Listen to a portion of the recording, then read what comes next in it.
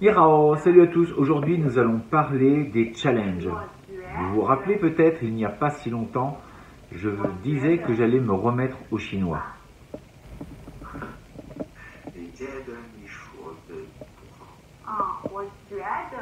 你 Facile, non? Non, c'est pas simple. Non, effectivement, c'est pas simple, mais si on ne faisait que les choses simples, ça vaudrait peut-être pas le coup de les vivre. Bon, moi je me suis mis au chinois parce que j'aime cette langue, j'aime la culture, bien évidemment, et je pense très honnêtement que pour mieux connaître une culture, il n'y a rien de tel que de connaître la langue. Et puis, euh, quand vous allez visiter un pays, alors c'est vrai que l'anglais aide énormément, mais quand vous voulez faire des rencontres, quand vous voulez vous approcher des gens, euh, ressentir un petit peu l'atmosphère, eh bien la langue s'y prête énormément et c'est une aide vraiment précieuse. Et puis en plus, quand vous commencez à parler la langue euh, du pays, eh bien les gens euh, sont un peu surpris et ils sont beaucoup plus enclins à vous aider ou en tout cas à faire les premiers pas vers vous parce qu'ils se disent tiens, voilà quelqu'un qui fait des efforts et qui essaye de parler notre langue. Alors bien évidemment, euh, aujourd'hui, je viens d'avoir 50 ans, oui, c'était mon anniversaire. C'est sûr qu'à un certain âge, ce sera toujours plus difficile d'apprendre de nouvelles choses, et encore plus les langues. C'est vrai que c'est pas forcément évident, et puis j'ai l'impression que nous, Français, on fait pas beaucoup d'efforts là-dessus, on n'est pas franchement de très bons élèves. Alors il y aura peut-être plusieurs explications, mais je pense qu'on fait pas beaucoup d'efforts non plus. Mais ceci dit, c'est comme un jeu, et c'est vraiment très agréable de se dire, tiens, j'apprends.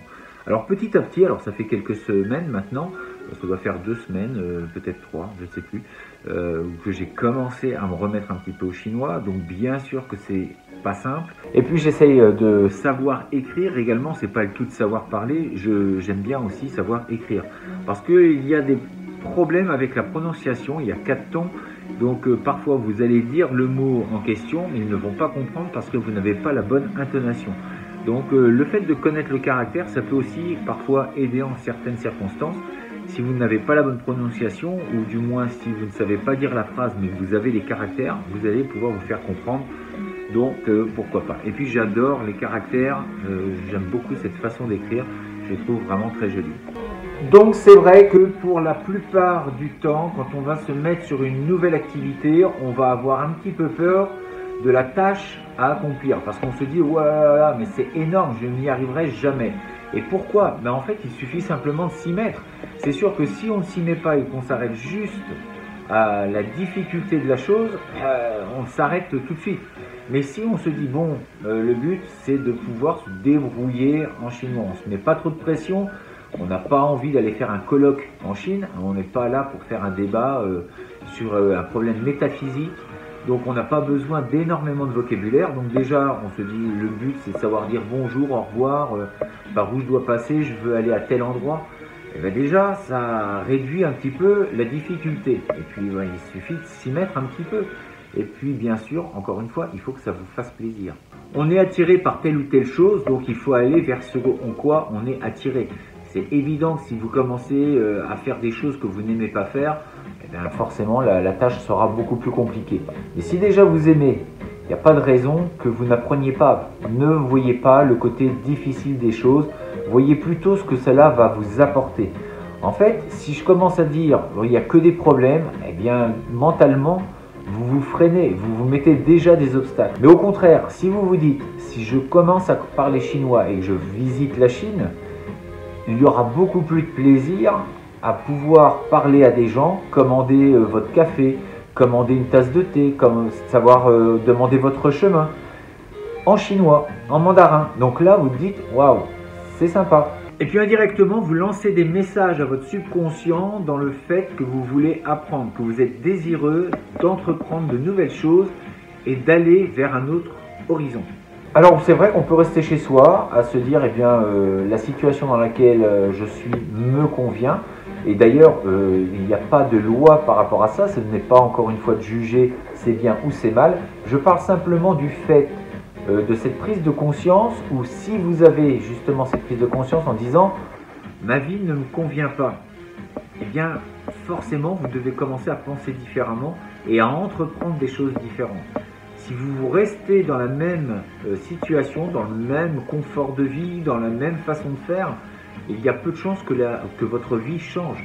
C'est tout bête à comprendre, mais c'est ainsi. Si vous pensez de la même façon, vous ferez les mêmes choses, donc votre vie ne changera pas. Pour changer, il faut penser différemment, entreprendre de nouvelles choses, et là, vous vous donnez une chance de pouvoir changer. Donc bien évidemment, si vous êtes bien dans votre vie, il n'y a aucun problème, et tant mieux, bien sûr, tant mieux.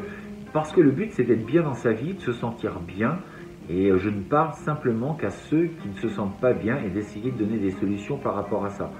En restant renfermé, on ne pourra pas bouger, ou ce sera très compliqué. Alors oui, ça fait peur, hein. c'est vrai que ça peut faire peur de changer, de se dire euh, je prends telle direction et je ne sais pas où ça m'emmène. Je ne sais pas, mais il faut avoir confiance. Et, euh, il ne faut pas faire les choses bêtement, bien évidemment. Il faut structurer un petit peu ce que l'on veut faire.